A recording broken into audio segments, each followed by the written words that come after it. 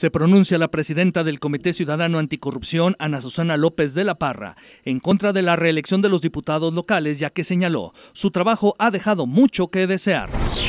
Yo de, veras me pronuncio porque no haya una reelección de ningún diputado.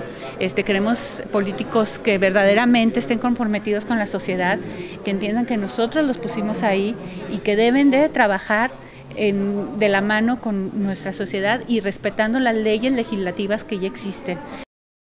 Anticipó que a partir de ahora en adelante saldrán a la luz pública muchos videos y audios exhibiendo a diversas figuras políticas, por lo que es importante que la ciudadanía tenga un criterio inteligente y no dejarnos llevar por estas situaciones, que son manejadas a conveniencia de cada grupo político. El gran problema que tenemos en México es que existe este, la impunidad. Cuando la impunidad termine, vamos a terminar con muchas este, situaciones de de la corrupción. López de la Parra adelantó que próximamente se llevará a cabo la selección del Comité de Selección Anticorrupción, la cual es elegido por el propio Poder Legislativo, por lo que reiteró el llamado a los legisladores locales para que involucren a la sociedad en este proceso de selección y se elijan a los mejores perfiles. Con imágenes y edición de Oscar Luébano para Informativo, Luis Antonio Salazar.